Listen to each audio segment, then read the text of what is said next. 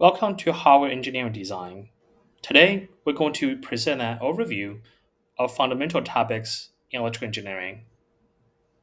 To kick things off, let's talk about common types of electronic noise interferences.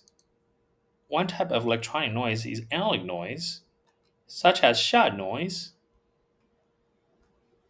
and common mode noise. We'll introduce a crucial tool, power spectral density, to quantify these phenomena. Finally, we'll touch on methods to mitigate these common issues.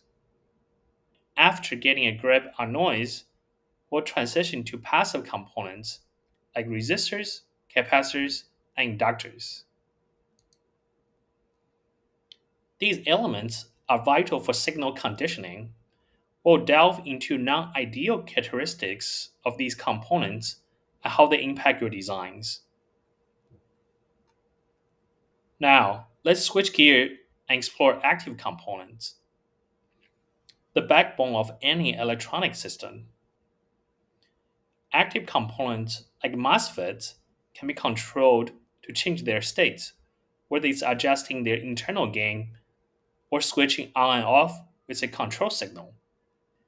Here are some IV characteristics for each type of transistors. Next, we'll focus on circuit design that employs both passive and active components. When it comes to processing analog signals, we rely on analog circuits.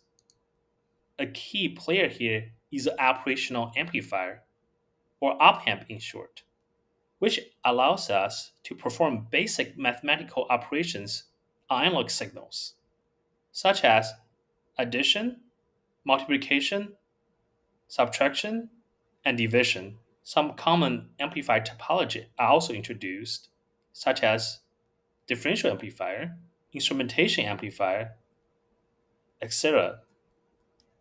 In contrast, digital signals are usually represented by binary numbers. The data processing here uses Boolean algebra operations such as AND, NAND, OR, or XOR.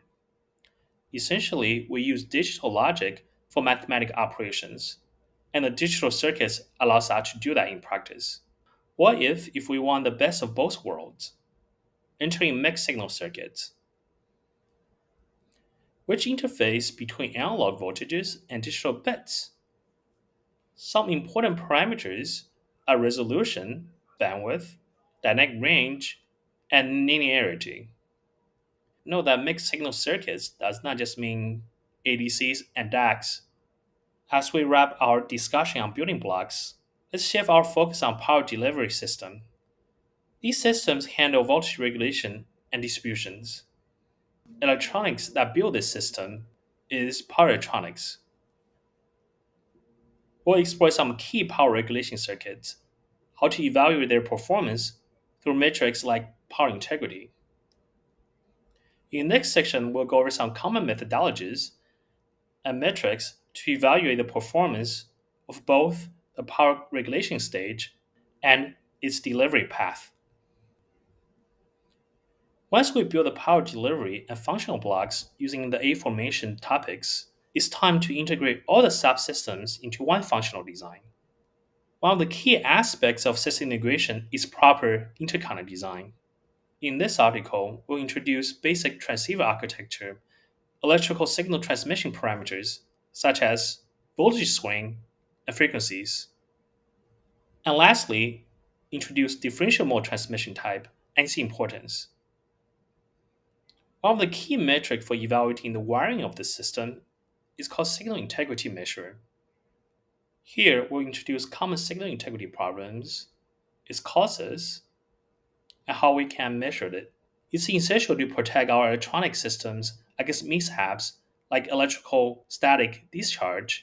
In this article, we introduce some basic types of protection, common faults, and its corresponding protection circuit, such as transient voltage suppressor, overvoltage protection, overcurrent protection, reverse voltage protection, electronic fuse, etc. This wraps up our overview of electrical engineering fundamentals. applied to practical system design. If you have any questions, don't hesitate to reach out.